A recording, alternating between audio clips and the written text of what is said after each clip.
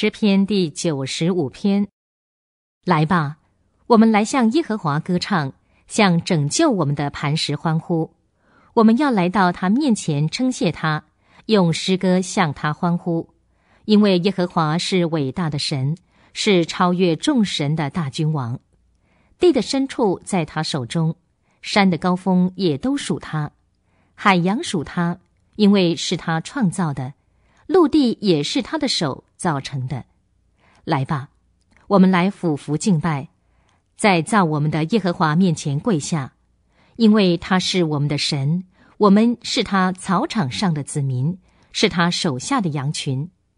如果你们今天听从他的声音，就不要硬着心，好像在米利巴，就是在旷野的玛撒的日子一样。在那里，你们的祖先虽曾见过我的作为。还是试探我、考验我。四十年之久，我厌恶那个世代的人。